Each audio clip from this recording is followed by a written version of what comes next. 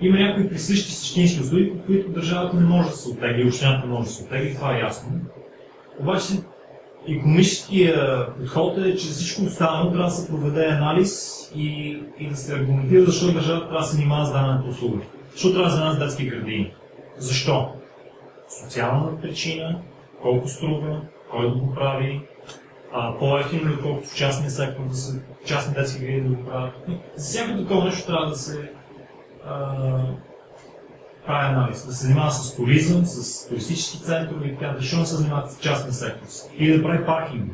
Ето, да вземем този пример, защото е горещ. Защо държавата трябва да прави паркинг? Или общината?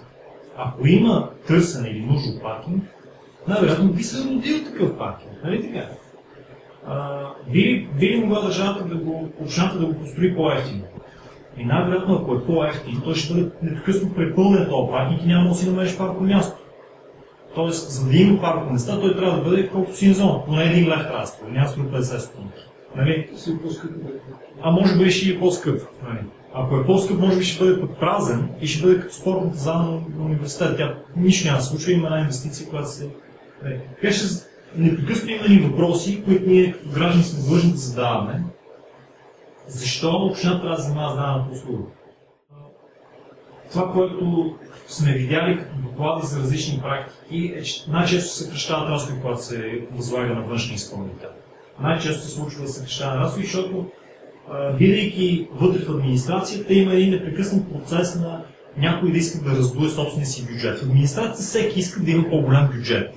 Докато в частния сектор, поради конкурентния натиск, човек иска да свива разходите и да има по-малък бюджет. Така че, заради чисто стимулни ефекти, т.е. стимула да се съкръщава с разхода, води до това, че в частния сектор, дори финансиран по публичен път, ако процедурата е достатъчно прозрачна, коректна и допуска конкуренция, а не е направена специално за някой братовчет да вземе поръчката и да изчисти снега, ще се стигне до съкръщаване на разходите.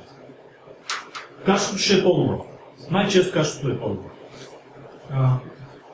намаляване на риск, защото а, когато ти назначиш изключително много хора персонал в една дирекция, и започнеш да правиш нещо, което на другата година се свие търсенето за тази услуга, ти трябва да ги уволниш тия хора. Знаете колко трудно се уволнява персонал, профсъюзите ще мрънкат, медиите ще мрънкат, ще стане чудо. Като частната фирма просто няма да ти пусне фактура.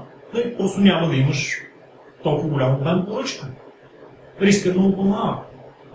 Риска от това да направиш някои фиксирани инвестиции. Примерно, ако ти занимаваш с сметосъбиране, няма да купуваш камиони, не се занимаваш с лизинг, не се занимаваш с общение с банки, няма. Ти само вземеш поръчката, плащаш текущия разход, фактурираш, фактурира ти, плащаш и готово. Няма, няма го елемент на капиталовия риск. А, не на последно място, прозрачност и по-лесна оценка на стоеността на услугата. Като казвам стоеността, им пред единичната стоеност на услугата. Класическият пример с детските градини. Има частна детска градина, знае се, че едно дете за един месец 400 лева, ето ти е цената. Сега, ако искаме да питаме госпожа Делчева колко струва едно дете, то ще стане чудо. Ще трябва да ни извади някакви списъци, да ни каже кое се изчислява, кои разходи влизат, кои не влизат, ама как са изчислени капиталовите, фиксираните разходи, как е амортизацията, нето настоящото. То ще стане един анализ, дето тук ще го дискутираме сигурно седмици. Като имаш част от доставка, знаеш, че 1 кг буклук за 1 км се извозва за толкова стотинки или толкова лева, точка. Имаш си план сметка, че толкова буклук ще се създаде в Пловдив, трябва да се занесе до депото, еди къде си, еди кои си точки. Не, детската градина. Имаш толкова деца, толкова месеци, за една година, част от градини ще дадат фактури за толкова пари. Не. И прозрачност на изпълнението на тази услуга. Тоест ясно е, че за тия пари тя ти дава даден, даден ефект.